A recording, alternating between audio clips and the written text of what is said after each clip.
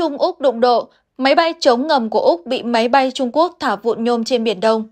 Thưa quý vị, sau vụ máy bay chiến đấu của không quân Trung Quốc đụng độ máy bay quân sự Canada ở Biển Hoa Đông, Úc cũng cáo buộc rằng một trong những máy bay tuần tra chống ngầm P-8A của họ đã đụng độ máy bay chiến đấu J-16 của Trung Quốc và cũng bị thả khối nhôm trên Biển Đông.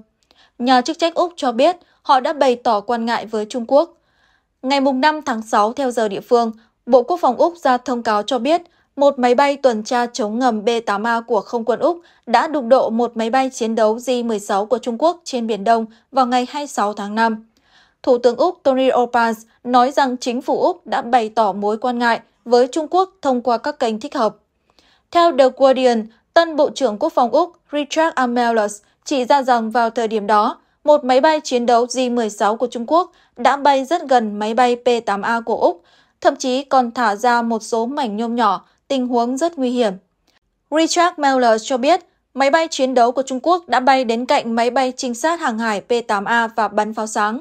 Sau đó, J-16 tăng tốc và vượt qua mũi của P-8A, đồng thời thả một số tấm ngăn chứa các khối nhôm nhỏ ở khoảng cách gần trước mặt P-8A. Miller cho rằng một số mảnh nhôm nhỏ đã bị hút vào động cơ P-8A, điều này rất nguy hiểm. Theo truyền thông Trung Quốc, tuyên bố về khối nhôm nhỏ ở đây là nhận định chủ quan của Mellors. Những điều đưa ra là vô căn cứ.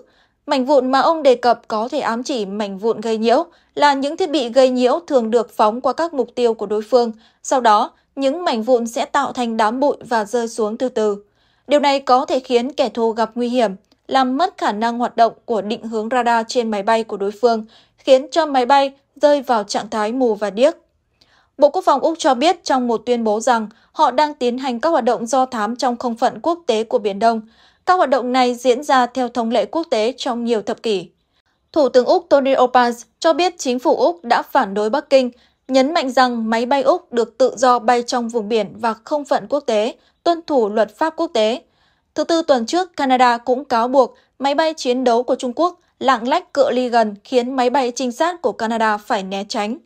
Theo Reuters, ngày 13 tháng 5, Úc đã cáo buộc một tàu hải quân Trung Quốc xuất hiện ở vùng biển quốc tế ngoài khơi bờ biển phía Tây Úc. Chính phủ Úc khi đó đã phản ứng mạnh mẽ về việc này. Tuyên bố của Thủ tướng Úc Scott Morrison rằng sự xuất hiện của con tàu là việc đáng lo ngại. Bộ trưởng Quốc phòng Úc Peter Dutton cũng cáo buộc hành động này là một hành động xâm phạm lãnh hải phi pháp.